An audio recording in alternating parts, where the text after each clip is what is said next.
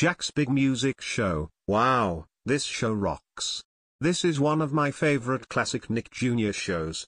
This show involves a blue mouse named Jack and friends who love to play awesome songs on their instruments.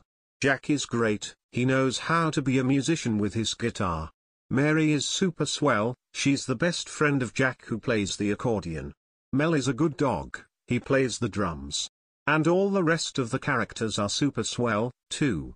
The episodes are great, the music, songs, and theme song are cool, the voice actors are professional, and the characters are awesome as well.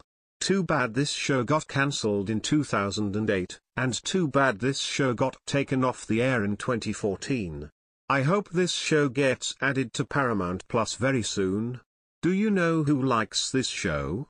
Me, Blocky the SpongeBob and PBS Kids fan 2K6, Erica the Lentau fan girl 98, Aubrey the Plotagon girl 2K2, Sonia Panda artist, Arabella Griffin, D Pastel Unicorn artist, Pastel Arianna artist, Brianna Cute Core Bunny artist, Dana Life, Heather, Blossom the Kitted Dog, Mothstar Blue Boy 2K8, Zaved Star Green Boy 2K4, Zizo the Show Fan 2007, and more users.